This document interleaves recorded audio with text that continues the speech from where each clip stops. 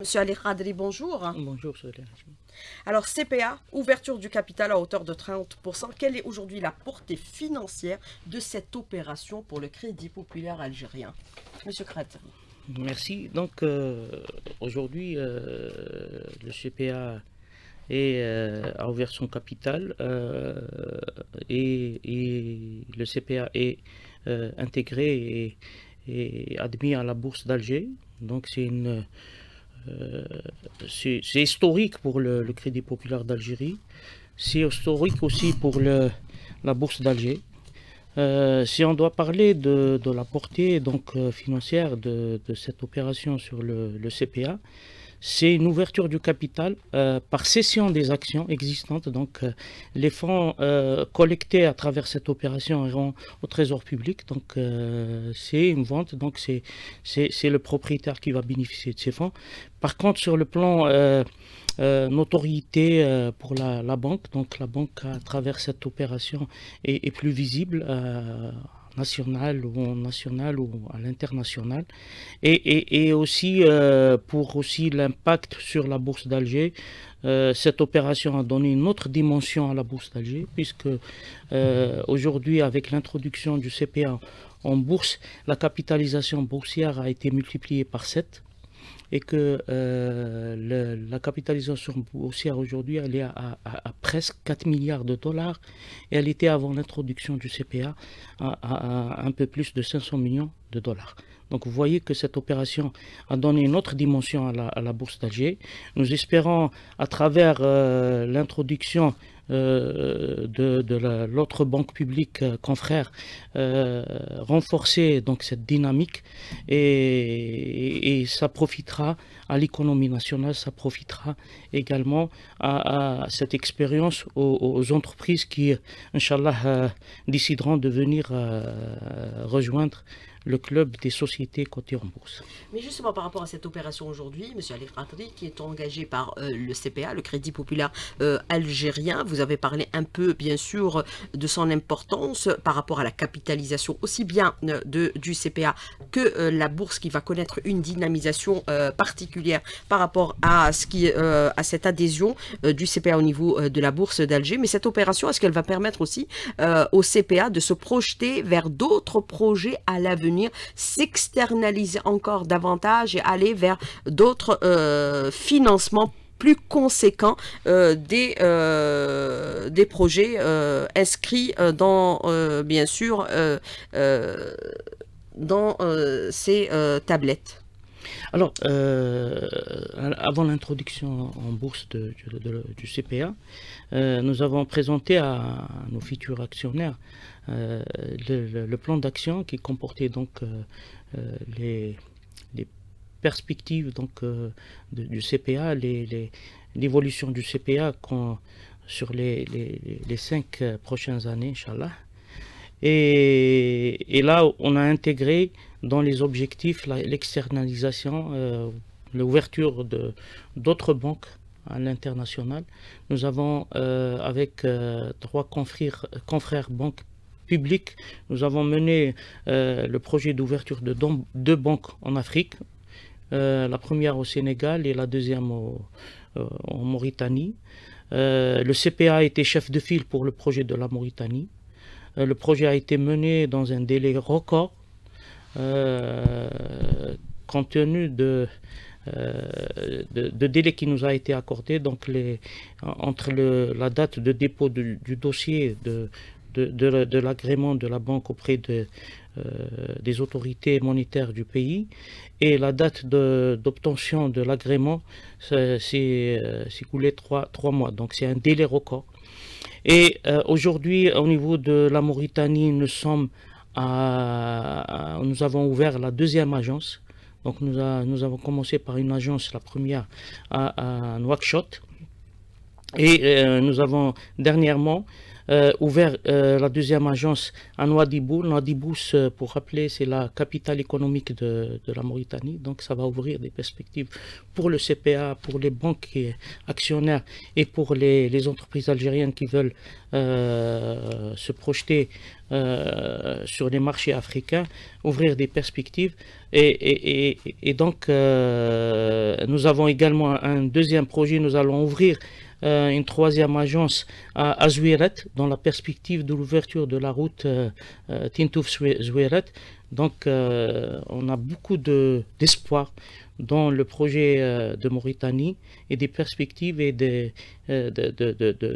d'affaires pour les entreprises algériennes à travers cette banque au niveau de, la Mauritanie et des pays voisins.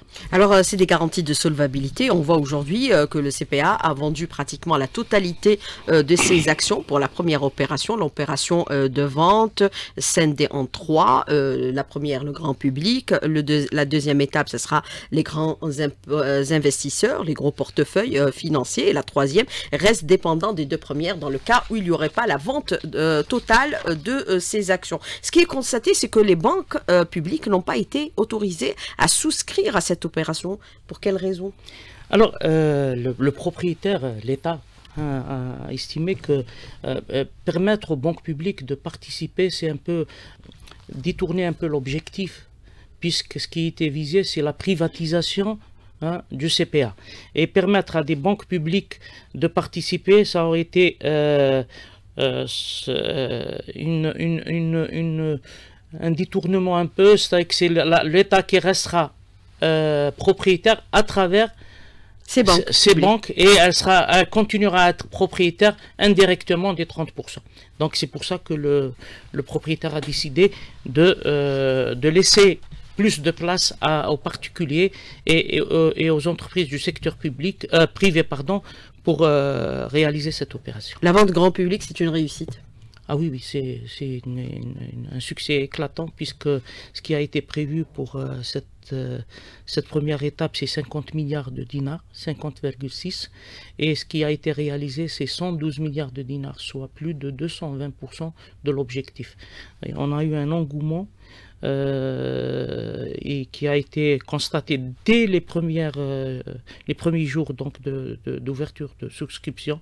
Nous avons réalisé sur le premier, les trois premiers jours, le 30 et le 31 1er euh, février également, nous avons réalisé sur les trois premières journées 12 milliards de dinars uniquement sur le, réseau CPA, ce qui, euh, ce qui démontre l'engouement, que euh, le, public a à, l'opération et, et l'adhésion aussi des citoyens à, à, la réalisation du programme de Monsieur le Président de la République. La deuxième étape, ce sera les grands investisseurs. La part qui leur revient sera importante, conséquente, puisque le grand public a raflé pratiquement euh, la majorité des actions alors la part qui leur revient aujourd'hui, ce qui reste, c'est reste un montant euh, qui n'est pas très important, c'est euh, près de 25 milliards de dinars. Donc euh, je pense que ça peut être réalisé avec trois ou quatre investisseurs. Donc je crois que le il n'y a pas lieu de d'aller sur le, la, troisième étape. Donc la deuxième suffirait pour clôturer l'opération. Alors euh, aujourd'hui, euh, bien sûr, euh, cette adhésion à la bourse va consacrer aussi la transparence par rapport aux opérations qui seront menées à l'avenir par le CPA. Puisque la bourse est un critère de transparence. Exact, exact. Alors, les entreprises côté bourse ont l'obligation donc d'être transparents et de, divulguer l'ensemble des informations. Et c'est pour permettre à l'investisseur d'avoir les mêmes chances dans le, leur choix et leur investissement. Euh, donc le CPA va communiquer sur ses résultats, sur ses projets régulièrement de façon à ce que tous ses actionnaires et même les investisseurs futurs, Inch'Allah, auront les mêmes informations et euh, les données qu'on nous, communiquerons permettront à, tout le monde de, prendre leurs décisions en, connaissance de cause et permettra également à, renforcer un peu la confiance et la notoriété de la banque auprès de sa clientèle et auprès de ses actionnaires. Alors, euh, par rapport à cette opération, toujours, euh, Monsieur Ali euh, Kadri, moi je voudrais revenir avec vous sur un aspect qui est très important aujourd'hui par rapport à cette opération, qui est une première, même l'externalisation des banques algériennes est une première opération qui a été engagée, puisque vous êtes déjà présent en Mauritanie, dans un cadre de consortium bancaire, également au Sénégal, bientôt, bien sûr, la Côte d'Ivoire. On parle aussi de l'externalisation vers d'autres pays de l'Europe, notamment en France. Est-ce que nous sommes en train de changer carrément de vision euh, de gestion de notre système euh, financier aujourd'hui et bancaire, puisque même le président de la République, il avait indiqué que l'année 2024 sera l'année de la réforme bancaire. Nous sommes inscrits aujourd'hui avec ces opérations dans cette euh, stratégie. Alors, alors pour la, réforme bancaire, d'abord, il faut, il faut, il faut peut-être souligner que d'autres chantiers sont ouverts en interne. nous avons, par exemple, le projet de montée de version pour le système d'information. Nous allons être sur une version qui, qui permettrait à, la banque de, euh, de mener à bien ses, projets de, euh, de, de, modernisation, de digitaliser euh, de façon massive les process au niveau de, la banque. Nous avons également un, projet qui est en, cours sur la digitalisation des process internes pour permettre le traitement des dossiers de crédit euh, de manière euh, plus efficace réduire les délais, euh, instantané, permettre, aux clients de suivre le dossier sur toutes ces étapes, permettre l'ouverture des comptes à distance, euh, ça aussi, c'est un projet qui est en cours. Nous avons un projet sur le contrôle en interne pour euh, maîtriser les risques. Hein. donc, euh, c'est digitaliser la fonction contrôle pour maîtriser les risques. Donc, ça, c'est en interne.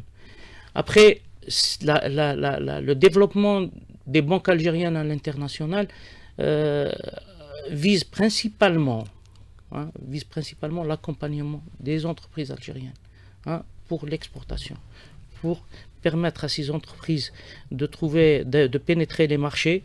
Euh, nous, euh, nous les aidons et nous les assistons pour euh, les mettre en contact avec les entreprises. On leur fournit également des informations sur les clients. vous savez, l'information est capitale en matière d'exportation. parfois, on tombe sur des clients qui, qui ne sont pas très solvables. Et quand on est sur place, on a plus d'informations et ça permet de sécuriser les opérations et ça permet d'aider les entreprises algériennes qui sont nos clients. Hein, euh, avant tout, euh, de sécuriser leurs opérations à l'international. Mais euh, ouvrir aussi des banques dans d'autres pays, par exemple comme l'Europe, en France notamment, ça permettrait aussi de capter l'argent de notre diaspora, qui est très important qui transite par des banques étrangères. Effectivement. De l'autre de l'autre côté de la Méditerranée, donc on a, on a une forte communauté qui est, qui est sur place, donc euh, qui a une capacité de mobilisation de énorme, énorme qui, qui servira euh, à, à, la, croissance économique de notre pays. Donc, euh, Comme cela se fait dans tous les pays. Exact. La Tunisie. C'est 20 milliards de dollars. Et donc, euh, il est temps d'organiser un peu le, les choses et de permettre à, notre communauté à l'étranger de de, de, de, de, rapatrier ou de, euh, de placer leur, leur épargne euh, au profit de, la croissance économique de notre pays. Nous, c'est à peu près 2 euh, milliards de dollars. C'est un en deçà des capacités de notre euh, diaspora. Des facilitations seront accordées également pour aller vers cette nouvelle vision, cette nouvelle stratégie aujourd'hui. Les, les banques changent carrément de cap, changent de vision, changent de trajectoire. Ils sont plus agressifs en direction de leur clientèle. Oui, Avant un dossier euh, d'investissement, ça durait 3, 4, 5 ans sans avoir ou obtenir de réponse. Alors, aujourd'hui, on travaille sur, sur l'amélioration de l'efficacité de, euh, interne de la banque, hein, justement pour améliorer la qualité de service. Euh, nous avons euh, aujourd'hui nous sommes face à une mutation. on a des clients aujourd'hui qui demandent à consommer le service bancaire de façon qui est différente Hein. Euh, aujourd'hui, à la digitalisation, on demande à ce que la banque s'adapte pour permettre euh, la réalisation des opérations ou la consommation du produit, euh, du, service bancaire à travers des, des, canaux comme le mobile ou bien le, net. Et, donc, on est appelé à, à être plus réactif, plus agile parce que les choses changent tellement vite. Que... Elles changent depuis quelques années. Exact. sans pour autant que les banques aient changé. Et, c'est ce qui est recherché. On doit avoir, aujourd'hui, on doit se travailler autrement pour assurer une certaine agilité qui permet à, la banque de s'adapter euh, rapidement au changement. Monsieur Ali Kadri, moi je voudrais revenir avec vous pour cette deuxième partie de l'invité de la rédaction sur plusieurs aspects. C'est un pas important qui vient d'être franchi euh, par le CPA, son adhésion à la bourse et bien sûr ouverture de son capital à hauteur de 30% pour le grand public et dans une seconde phase pour les grands euh, portefeuilles euh, financiers, c'est-à-dire les grandes entreprises. C'est une sorte de privatisation à hauteur de 30%. Est-ce qu'on pourrait envisager, avec la réussite de cette opération, puisque vous allez gagner bien sûr des cash flows, c'est des liquidités euh, supplémentaires par rapport à ces actions qui ont été vendues. 30% aujourd'hui, 20% euh, à l'avenir également, qui permettrait aussi à l'État de euh, continuer à être le propriétaire du crédit populaire algérien. Est-ce que dans cette stratégie, c'est envisagé aujourd'hui, c'est d'ouvrir 30% et envisager peut-être l'ouverture à l'avenir encore de 10% et voire 15% et peut-être même 20%, Monsieur Ali Qadri être à 50-50 alors, euh, juste pour vous, euh, c'est que je dois préciser que quand on a commencé à travailler sur le dossier, euh, nous avons travaillé sur trois scénarios. l'ouverture à 20%, l'ouverture à 30% et l'ouverture à 50%. rapidement, l'option d'ouverture à 20% a été exclue. Et nous avons continué à travailler sur les deux options restantes. Et euh, moi, personnellement, euh, j'ai trouvé que le propriétaire n'avait pas de problème à aller jusqu'à 50%. Le problème qui s'est posé, c'est un peu euh, la, question qu'on s'est posée, est-ce que le, marché était capable de supporter une, une, opération aussi importante? Parce que pour rappeler un peu le, contexte, l'opération portait sur, sur 138 milliards de dinars à 30%. Et si on ouvrait à, à, 50%, euh, ça aurait été 256 milliards de dinars. C'est énorme comme, comme, comme, montant. Et que euh, dans l'histoire de, de, la bourse d'Alger, l'opération la, plus, euh, la plus récente portait sur 6 milliards et qui n'a été, ré, qui été réalisé qu'après la mise en jeu de la garantie de bonne fin qui a été accordée par deux banques publiques. Donc, euh, euh, pour vous dire que euh, l'option d'aller plus loin n'est pas exclue. Ça appartient, bien sûr, la décision, ça appartient à, au propriétaire historique. Mais c'est l'État. Euh, qui est l'État. Mais euh, je pense que cette question n'est pas vraiment tabou et que, et que l'État peut décider à l'avenir d'aller au-delà des, 30%. Maintenant, je pense qu'il est important, ce qui est important aussi, euh, c'est de permettre à, la deuxième banque, qui est euh, la BDL, qui, va nous rejoindre, Inch'Allah, euh, nous ferons tout pour l'aider à, à, réussir son opération, permettre à cette opération de se réaliser, ouvrir également la bourse à d'autres sociétés, parce que ce qui est important pour la bourse d'Alger, c'est d'avoir de la consistance, c'est d'avoir beaucoup de titres pour permettre aux investisseurs d'arbitrer, de prendre leurs décisions et de faire jouer la concurrence. Donc c'est important d'intégrer le maximum d'entreprises. Même bad, ouvrir euh, le CPA euh, à, plus de 30%, oui, euh, je pense que c'est quelque chose qui n'est pas exclu. Et, je Mais vu la réussite de cette opération, est-ce que ça va encore donner une volonté d'ouvrir encore davantage le capital du CPA c'est le principe de toutes les banques à travers le monde. Vous, savez, moi, si on, me demande d'ouvrir davantage, je, préfère qu'on ramène plus d'entreprises à la bourse. Mhm. Pourquoi? Parce que la bourse aujourd'hui, son problème, c'est qu'elle a uniquement ces sociétés qui sont cotées. Donc la consistance de la bourse. Un marché, c'est le nombre de produits qui sont proposés et d'entreprises cotées en bourse. Exact. La bourse, important la bourse tunisienne, c'est 80 sociétés. Voilà. Donc c'est important de ramener le maximum d'entreprises et dans les secteurs. Il faut que chaque secteur en ramène 3 à 4 entreprises pour permettre à l'investisseur de jouer, de faire jouer la concurrence. Parce qu'une entreprise qui, euh, euh, est euh, sur un secteur et, qui, qui, offre des rendements qui ne sont pas bons, elle, sera sanctionnée par les investisseurs, par le marché rapidement et, en faveur des sociétés qui offrent des rendements supérieurs. Donc ça, ça, ça, alimente la, la, concurrence et, et ça, c'est au profit aussi de la croissance nationale. Plus de concurrence, c'est plus de croissance. Et ça va dynamiser bien sûr le marché financier euh, national. Il faut aussi euh, que les compagnies d'assurance, que les grandes sociétés algériennes, qu'elles soient privées ou publiques, adhèrent justement euh, à la bourse d'Alger, puisque nous avons vu que parmi des sociétés cotées, nous avons une société euh, dans le pharma et elle réussit bien. Jusque-là, elle a été parmi les premières, réussit bien son opération d'adhésion euh, à la bourse. Il y a l'Horacie aussi. Exact, exact. Donc, euh, comme je l'ai dit, il, faut, il faudrait que sur ça, chaque secteur d'activité en bourse, on, doit avoir 3 à 4 entreprises cotées en bourse pour permettre à la bourse, de, pour le, lui permettre d'avoir la, la, dimension qu'elle mérite.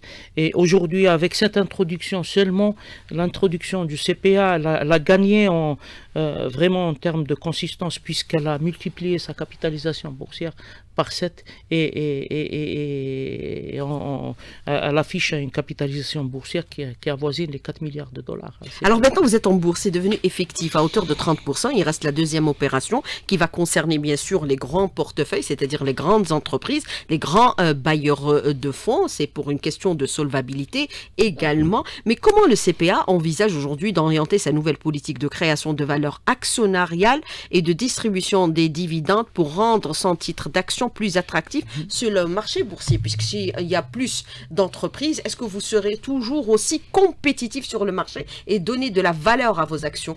Alors, ce qui, ce qui c'est le, C'est ça le grand défi aujourd'hui. Exact, exact. Il suffit pas d'être seulement à la bourse. Exact. Alors, alors c'est ça, c'est ce que je vais expliquer, c'est que la bourse pousse les entreprises à être plus performantes, à offrir un rendement, le meilleur rendement possible à ses actionnaires pour, pour euh, euh, augmenter la demande sur son titre. Et, et c'est l'augmentation de cette demande qui va pousser le titre à, enclencher une tendance haussière et, faire réaliser aux actionnaires euh, des plus-values. Donc c'est ça l'objectif. Maintenant, dans votre stratégie, comment vous allez faire? Alors, euh, la distribution de dividendes, c'est ça vient du résultat. Donc euh, l'objectif, c'est. Mais comment rester coté en bourse? Alors, j'arrive, j'y arrive. Alors, il faut d'abord qu'on réalise les résultats qui sont, prévus, donc euh, qui, ont été, annoncés dans le, business plan. Et pour les réaliser, nous comptons sur euh, une autre façon de distribuer nos, produits pour améliorer euh, la, satisfaction de nos clients. La satisfaction de nos actionnaires passe forcément par la satisfaction de notre clientèle, par l'amélioration de la qualité de service. Nous allons travailler sur la modernisation de la banque qui permettra de maîtriser les coûts, maîtriser les risques et, permettra donc euh, de, réaliser des plus-values des, des plus-values importantes euh, en, financièrement. Vous allez, ouvrir, vous allez euh, revoir votre portefeuille financier? Portefeuille client, vous voulez Oui, client. Alors, on a un très bon un très bon portefeuille client. Ça, mm. c'est, euh, moi, je viens de l'extérieur. Hein, je, euh, j'étais dans une autre banque. Donc, Vous étiez à la CNEP Oui. Donc, quand je, je vois le portefeuille du, CPA, c'est un bon portefeuille diversifié, constitué principalement de PME. Donc, euh, c'est la force de l'économie. Hein. Mm-hmm. Et, contrairement à ce qu'on pense, on n'a pas de, de, de, déchets importants sur le portefeuille. Il suffit maintenant de, euh, de continuer à travailler avec ses clients.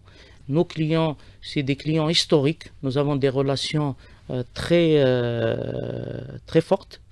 Et la preuve, pratiquement une bonne partie de ce portefeuille, de ces clients-là, ont souscrit à l'opération, donc ils font confiance à la banque.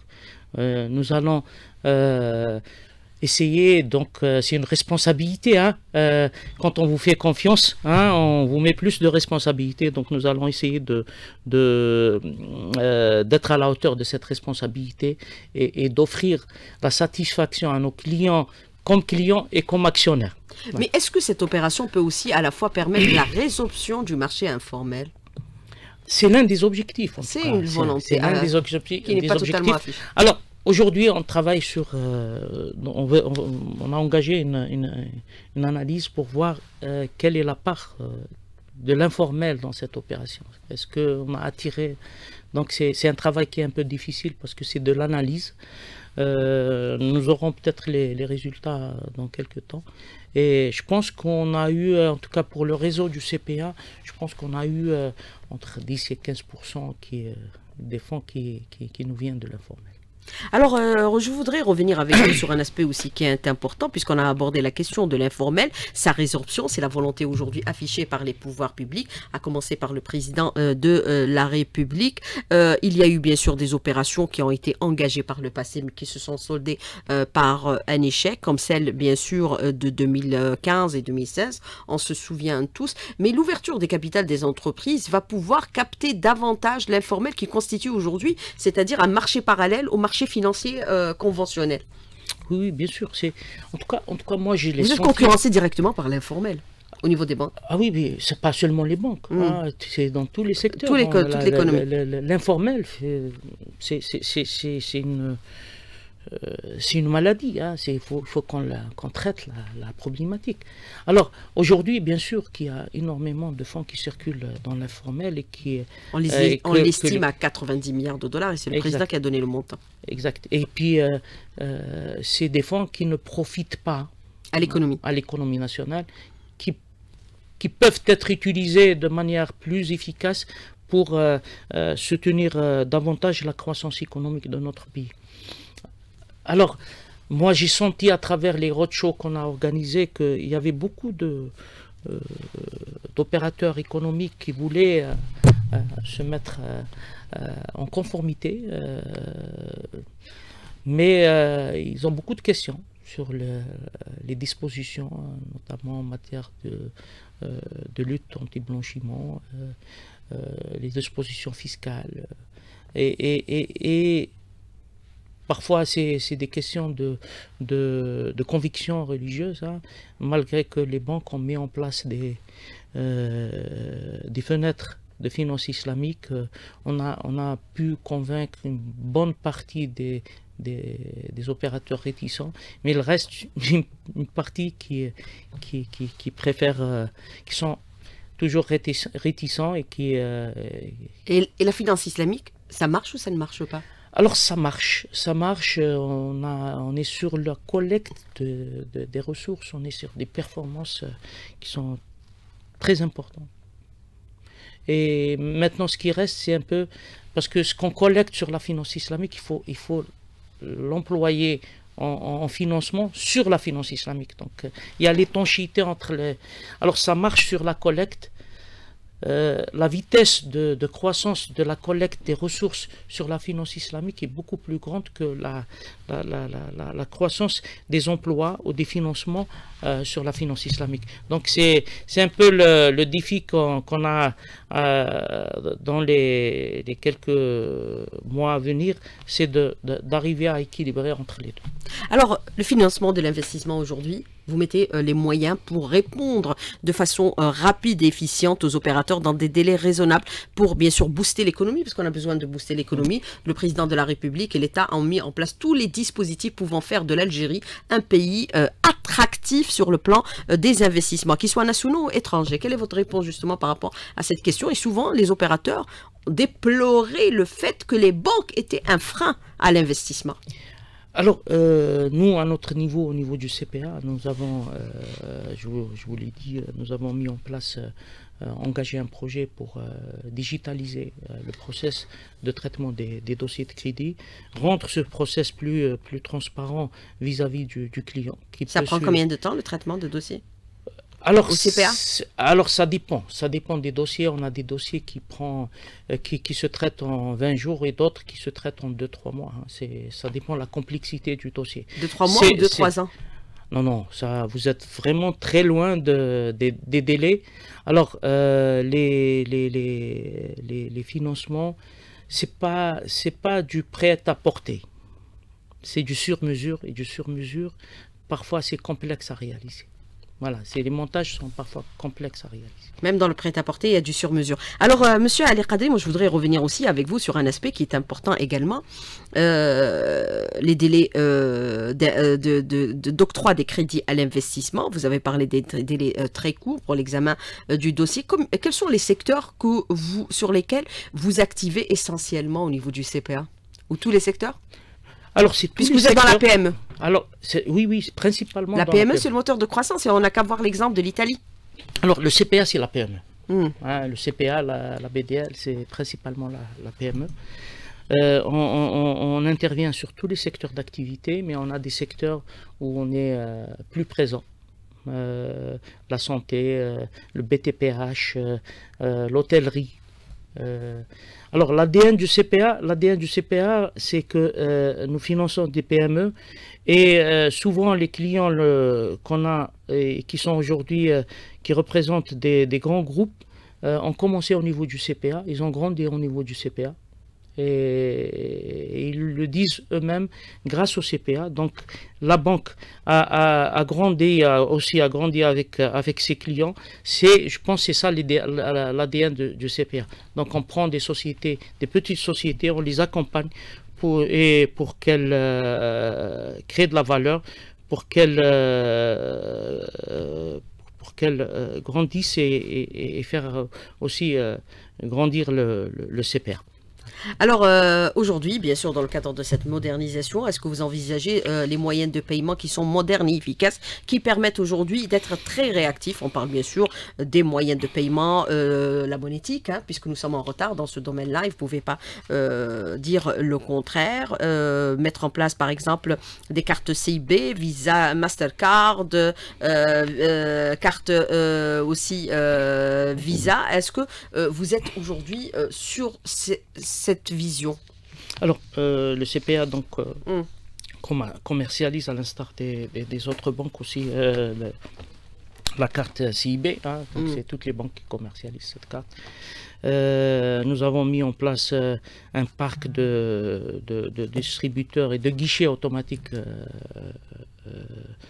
pour permettre aux clients d'utiliser les, cartes. Nous avons mis en place aussi les, euh, nous avons recruté ou démarché les web marchands donc pour permettre l'utilisation de ces cartes sur le, web. Euh, nous avons également des cartes à l'international, la carte Visa, la carte Mastercard. Et, et qui permet des opérations à partir de l'étranger? Oui, oui. Le transfert aussi de l'argent à partir de l'étranger? À partir de l'étranger ou à partir de l'Algérie? De l'Algérie et de l'étranger. Je suis à l'étranger avec ma Mastercard. Est-ce qu'elle est opérationnelle à partir de l'étranger? Bien sûr, c'est fait pour ça. Oui. C'est fait pour ça. Et euh, vous pouvez même faire des paiements euh, euh, avec ces cartes à, partir de l'Algérie. Et, donc, pour le CPA, pour les projets à venir, nous avons lancé dernièrement l'appel d'offres pour pour acquérir un, système euh, de gestion de la monétique, donc regrouper tous les systèmes dans un seul système le plus performant possible pour euh, améliorer notre qualité de service sur la monétique. Il y a des choses qu'on a qu'on a réalisées, mais aujourd'hui on nous demande plus de qualité et, c'est pour ça qu'on a engagé ce projet. Alors, vous avez cette question de l'auditeur. Comment, euh, euh, à, quand aujourd'hui euh, cette autorisation de transférer pour, bien sûr, nos compatriotes à l'étranger, leur devise de l'étranger vers l'Algérie et inversement? Alors, transférer des devises de l'étranger vers l'Algérie, je pense qu'il n'y a pas de, de, problème pour ça. Quels que soient les montants Quels que soient les montants. Alors, maintenant, le faire dans le sens inverse. Inverse, c'est une question qui relève de, la, banque de la Banque d'Algérie. La loi sur la monnaie et le crédit. On en parle souvent et régulièrement. Alors, euh, autre question que je voudrais aborder avec vous, c'est celle de l'auditeur qui vous dit aujourd'hui, euh, quand euh, aujourd'hui les souscripteurs pourront percevoir leur première dividende par rapport justement à cette opération d'ouverture du capital? D'accord. Alors, pour cette, cette opération, j'ai oublié de, souligner peut-être que un cadeau a été offert par le, propriétaire historique aux nouveaux actionnaires, donc il, il est fait bénéficier des, des dividendes de, 2023. alors qu'ils n'étaient Mm. pas actionnaires en, 2000 en 2023. Donc, euh, nous aurons, donc après l'arrêté des comptes qui est prévu normalement dans les jours à venir, nous aurons, nous aurons la, la- la- la réunion de- de- du conseil d'administration qui arrêtera les comptes et, et nous convoquerons la- l'Assemblée générale pour l'approbation et la décision de distribution euh, des dividendes et le niveau de distribution des dividendes. Donc, c'est avant le, euh, la fin du semestre, Inch'Allah. Mais quelle est la valeur de l'action aujourd'hui euh, du CPA au niveau de la bourse? 2300 Aujourd'hui? Aujourd'hui. Elle a augmenté depuis euh, Non. l'ouverture Non, c'est. Elle est en stagnation Elle est en stagnation. Alors, euh, vous la, avez... dernière, pardon, Oui. la dernière, euh, la dernière euh, séance de cotation, donc il y a eu des transactions, 40 000, euh, 40 000 actions qui ont été euh, transigées euh, au prix de 2300 dinars. Alors, euh, vous avez aussi cette question de l'auditeur qui vous dit aujourd'hui, euh, monsieur euh, que fera le CPA dans la situation de stagnation de la négociation des titres sur le second marché de la bourse d'Alger? Alors, euh, il y a un, contrat de, Mhm. de, de- de liquidité euh, qui est en cours de, réalisation qui permettra donc d'assurer la liquidité du titre euh, au niveau de la bourse. Euh, c'est un contrat sur une année qui est, je crois, renouvelable une seule fois. C'est le temps de permettre, c'est le temps de donner le temps à- au marché d'a- d'absorber hein, un- une telle opération. Je pense avec l'arrivée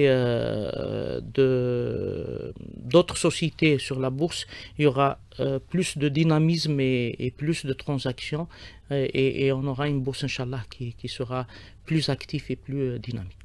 J'espère que cela va arriver très vite. Alors, cette opération va consacrer transparence et permettra aussi d'aller graduellement vers une convertibilité au service de l'intérêt général de notre pays pour, bien sûr, un retour des investissements rentables et le retour des idées. On en a fortement besoin aujourd'hui, Monsieur Kadri. Et on le sait. Oui, oui, euh, c'est bon. Il y a beaucoup de problématiques vis-à-vis de, de- de- la question de, euh, de convertibilité du dinar. Donc, c'est une question qui est de, politique monétaire qui, qui relève de- des prérogatives de la Banque d'Algérie. Euh, moi, je pense que je, suis pas- je ne suis pas autorisé à, à- répondre à cette question. Alors, autre question. Aujourd'hui, les bureaux de change, il les faut impérativement aujourd'hui, puisqu'on a parlé de la réception de l'informel, l'informel de la devise par le bureau de change, c'est important? Bien sûr, c'est- parmi les instruments qu'il faut mettre en place euh, euh, pour que euh, les choses soient rentrent dans la, sphère formelle de l'économie.